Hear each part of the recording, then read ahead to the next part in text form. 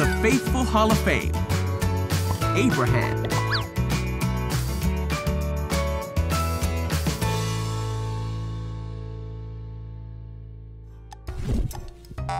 This is Abram, who will later be known as Abraham. Hey! When Abram was in the land called Canaan, God told him to look over the land as far as his eyes could see.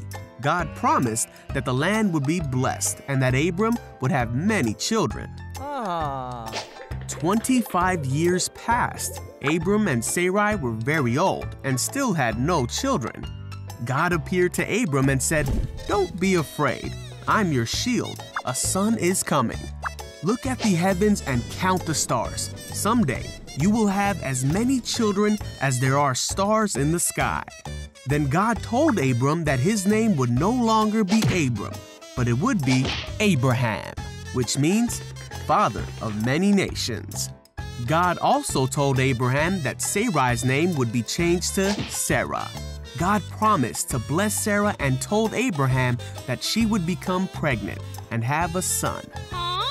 God made a covenant with Abraham that day. His covenant was a promise that Abraham would have many sons and they would be blessed.